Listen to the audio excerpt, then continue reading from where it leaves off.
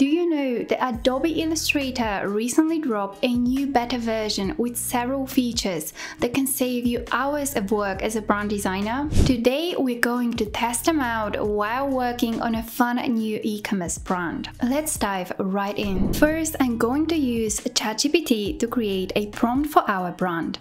Let's ask ChatGPT the following. Create a logo design brief for an e-commerce shop company that sells boutique candles with unusual scents.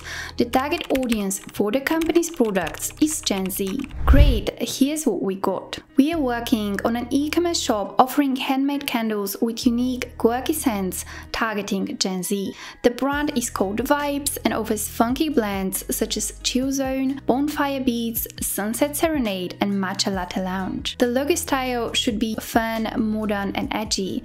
We're aiming for a bold, vibrant, and fresh color palette and modern, bold, and readable typography. Now that we have our brief in hand, let's head to Pinterest, Dribbble, and Behance and create a suitable mood board to guide our design decisions. We have our brief and mood board ready, so let's dive right in and open up Adobe Illustrator's beta version. First up, let's explore the retype feature. This tool allows us to match and download fonts similar to those in your mood board directly from Adobe Fonts. It's a real-time saver and makes the process of looking for fonts so much easier and quicker. For our candle brand Vibes, we are hunting for a modern, bold and readable typeface. I've selected several images with typefaces that I believe are going to fit the brand's personality. To begin, we'll select our first image and navigate to the type menu and then go to retype. A new panel will appear. Here you can highlight the specific text in your image and the retype panel will display similar fonts available for download directly from Adobe Fonts. Activate your chosen font by simply clicking this little button here. If you want a sneak peek of your selected word in the new typeface, just type it out in the panel. Once you're finished and ready to discover more options, hit the exit retype button. It's as easy as that. Moving on to our next image, there's a particular font here that has caught my eye and is already in my collection. So let's type out our brand name Vibes and apply this typeface. Now let's repeat this selection process browsing through each image until we've identified all the fonts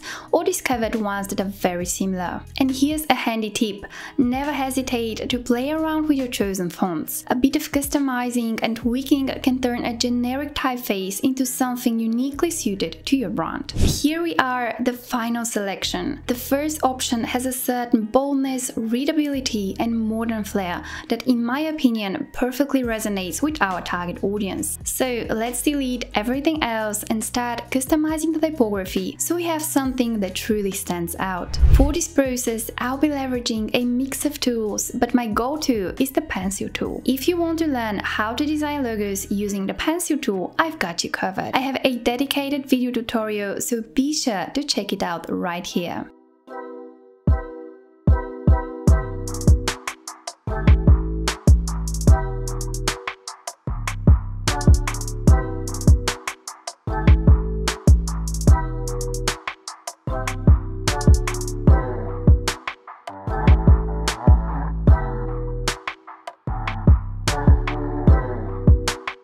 Now that we have our word mark ready, let's move on to the next step. We are going to make some custom illustrations to represent the Sunset Serenade scent. This fragrance is a unique mix of blood orange, pink grapefruit and a hint of sea salt. Next, we also need a color palette we are focusing on vibrant and bold color combinations. So let's use the second new feature, which is the Generative Recolor tool. This tool utilizes text prompts and AI in order to generate suitable color palettes. We are going to use this tool in order to recolor the vector illustration we've created. Just select your design, hit the recolor button here, and you see the new Generative Recolor tool. It offers a variety of prompts to choose from or You can get creative and type your own idea into the box provided. This way, you can quickly test out different color palettes and then tweak them until you get them just right. It's a great time-saving feature that also provides easy customization of the prompts to ensure your colors align perfectly with the brand's style. Finally, to truly visualize our design and help our client grasp our creative decisions, we also need a mock-up of a candle. Adobe Illustrator has thought of that as well. The third mind-blowing new feature we're going to use is the mockup tool. First, you need to find a stock photo of the object you want to place the logo design on. In our case, that will be a glass candle jar. Then import this photo in Adobe Illustrator. I've also created a label for our candle. Keep in mind that all the elements of this label need to be grouped together. Then let's position the label on top of the candle image and align everything as precisely as possible. Now here's where the magic comes. Select both the image and the vector elements and then go to Object Mockup. As you can see, Adobe Illustrator is now allowing you to follow the shape of the object you're working on and adjust the positioning of the elements. The mockup is not quite perfect yet, but keep in mind this feature is still in beta version and it's a great way to quickly test out